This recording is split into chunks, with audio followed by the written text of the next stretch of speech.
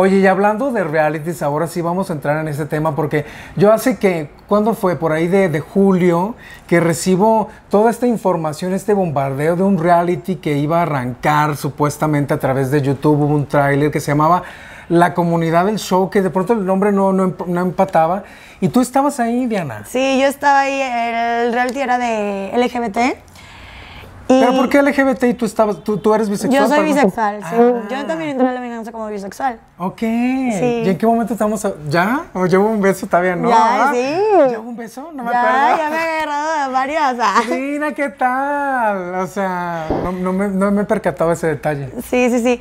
Pues eh, entré, a- me entero por Instagram, me hablan, me dicen. Y yo le dije, a ver, si no pagan, yo no voy. Claro. Y me dijeron que sí me iban a pagar, pero fue toda una estafa. Estafaron a muchos de mis compañeros. Este, le siguen, le siguen debiendo dinero a unos gemelos, le, le deben 70 mil pesos. Wow. Los estafaron porque les dijeron que les iban a dar un coche, que si invertían tanto les iban a dar un coche y otra ganancia. Lo cual nunca se les ha pagado, nunca el güey está desaparecido porque pues le debe a tantas personas de ahí, de mis compañeros que estuvieron conmigo.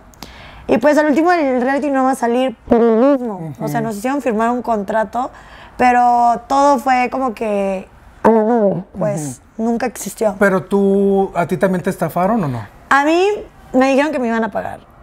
A mí me dieron una parte del dinero que me que Te me iban a- prometieron. Ajá.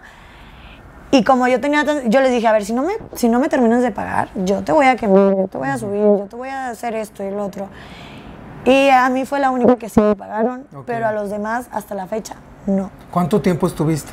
Yo estuve un mes ¿En, un- en en qué- Cancún. En Cancún. En Cancún. Y durante esas grabaciones sé que hubo un pleitazo muy fuerte. Diana, cuéntame bien qué pasó, porque de pronto yo recibo unos mensajes de Jihu, ex integrante de Resistiré, y de pronto unos mensajes tuyos que se habían peleado. ¿Qué, qué- fue lo que pasó? Mira, es que nos estaban grabando para empezar, para hacer un contexto. Nos estaban grabando con los teléfonos y yo creo que Jihu, como estaba en Resistiré, y se lo tomó muy, muy reality. Y este reality era según de cultura general, física y otras cosas que nada que ver. Él llegó un día con un yogur y una cucaracha. Y me da así como que a probar, pero la neta yo no me di cuenta. De esos No- tomados, No, no, ¿no? así. Y yo le metí el dedo. Y de repente me dice, no, ¿qué hiciste? Y de que probé. Yo dije, ¿qué tiene? Voy viendo y se la viento. Y yo de que no mames, ahí empezó la riña. Pero dije, o sea, ¿por qué hizo esa maldad si no estamos grabando al 100%? O sea, es- ni en cuenta. Claro. ¿Sabes? O sea, era mi amigo, como por qué me hacía esas co- cosas a mí, ¿sabes? Y me enojé, hicimos un show, nos peleamos en redes sociales. Me había, yo tenía la cuenta de iClub de un teléfono, me lo hackeó. Guau. Entonces, pero al último, o sea, hicimos las paces, yo ahorita me llevo muy bien con él, no tengo tema, yo creo que con ninguno Pero, del pero. ¿quién armó, quién, quién tuvo la iniciativa de hacer las paces? Yo creo que él. Ok. Él me habló y me dijo de que, güey, pues ya, güey, o sea, sí duramos como unos cinco meses peleados. Bastante. Bastante. Tenemos Pero- el orgullo. Pero fue pleito nada más de palabra, nunca llegaron a lo, digo, no sé. No, no, nunca llegamos a los golpes. O sea, yo sí me, yo sí quería golpear a, a su novio porque me- no me sacó así. Me, empujó. me empujó y yo fue como que, ¿qué me estás empujando? Y él me, me hizo así feo. Claro.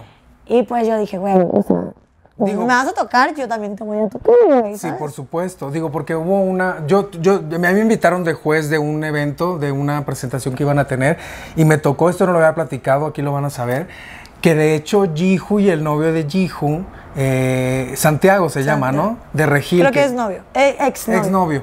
Eh, se peleó también con el hermano de Dania. Con Jaime. Sí, o sea, se agarraron así como a dime direte y Playton en un bar aquí de, de- del centro. Pero también ahí supe que también hubo ahí eh, Jihu como que también la agarró contra Dani, algo así, subió unos videos. Eso ya no supiste tú. No, yo, ya, yo me deslindé de... Cuando yo me salí del reality, yo me deslindé de todo. Yo no quise saber nada de nadie. Yo estaba por mi lado y, y dije, ya. Pero tú te la solías que ya era una estafa y por eso te fuiste. ¿o Sí, por yo dije, ay, no, mira, estoy perdiendo mi tiempo. eh, no me perdiendo. le- está de la chingada, no veo las cámaras, no veo el profesionalismo. Nada que ver con lo que grabé en La Venganza de los Ex, o sea, que, que ahí sí son profesionales, acá no. Dije, no, yo qué chingados hago aquí. ¿Y ese productor de dónde era? Creo que era de Durango por allá. Ok. Pero ya tenía varias demandas. No, es que lo investigamos. Nos vendió un nombre falso. Ok, ¿cómo se hacía llamar? José. José. Pero, ¿y ese reality lo supiste tú por redes sociales? Por redes sociales, porque ahí entró un amigo y yo le dije a Yihu, yo le dije a Javi. Y ya salimos bien embarrados todos. Qué bárbaro, qué bárbaro. Oye, pero pues es importante, obviamente, yo creo que dar este mensaje porque sé que todavía existe esta Claro. estafa. No caigan en el show, la comunidad LGBT, el show, porque es estafa total. Nada más les van a quitar dinero y pues hay que cuidarnos más en pandemia. Pero yo quiero saber, ¿ya abriste la puerta de participar en realities, Diana? ¿Qué, qué viene para ti? Ahorita, pues, primero quiero que se termine la venganza, voy a estar, yo creo que iba a terapia. y ya después que vengan propuestas, yo estoy abierta a cualquier propuesta que me hagan. ¿Terapia por qué, Diana? ¿Saliste muy afectada del programa o terapia personal para, para No, pues para, para personal. Simplemente uno necesita también ir al psicólogo y platicarle de tus problemas. No salí tan dañada del reality, la verdad. Yo entendía lo que iba. Un reality show, entendía que mucha gente me va a odiar, mucha gente me va a querer, mucha gente se va a identificar conmigo. Estoy abierta a cualquier crítica, las buenas las voy a tomar y las malas pues me van a servir de experiencia. Ujú. ¿Y tu Instagram, por qué te lo cerraron? ¿Porque mucha gente lo reportó? ¿Qué fue lo que pasó? No, no sé. La verdad me dicen, ya han cambiado mucho las cosas, las normas de Instagram, ya por cualquier cosita te ponen un strike y te dicen te lo vamos a fregar. Y pues yo creo que pasó por eso, o a lo mejor y también la gente enganchada me fue a reportar. O sea, puede ser las dos cosas. ¿Y perdiste contratos o cosas con Pues marcas? o sí, no? sí perdí cosas, pero pues bueno, vo- ahí voy poco a poco. Por supuesto. Y, y ahorita justo que hablabas de terapia, mucha gente de reality habla que sale a veces muy afectada porque siente que tiene una cámara siempre enfrente. ¿Tú, tú cómo saliste después de esta experiencia? Pues ya no sentía las cámaras, al último ya me valía, o sea, ya era como que ya no veía las cámaras, ya era como que ya, pues ya. "Ah, Hay que hacer show, hay que hacerlo y ni hay modo. que hacer show, hay que hacerlo y ya ni modo. No éramos, no era como que teníamos aquí la cámara.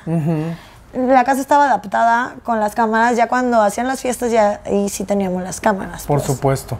Pues eh, Diana, nos dejas picadísimos para muchas cosas. Te deseamos mucho éxito. Me Muchas da mucho gusto que, estés súper bien con tu hermana, que, que es muy consentida en nuestro canal de YouTube y por supuesto por, para mí. y que, y que, te, que te vaya muy bien. Felices fiestas. Muchas gracias, Me imagino que, estarás con tu familia en Navidad, Año Nuevo. Sí, claro que sí, ahí voy a estar con mi familia. Y a Santa un novio. Ahí lo, a- Ah. Si se porta bien, se los presento. Si Ah. se porta bien, se los presento. Ya nos, ya nos contarás, por supuesto. Nos dejas con el Vaya Vaya, que te Vaya, sigan vaya. en tus Instagrams, en tu Instagram. Síganme en mi Instagram, Diana Zambrano C2. Ok, nada más tienes Instagram o también hay Facebook. El Facebook es personal y Twitter ya me lo hackearon también, entonces nada más Instagram. Perfecto, pues ahí estaremos al tanto. Mis doggies queridos, gracias por acompañarnos en esta entrevista. Les mandamos un besote y nos vemos en nuestro próximo video.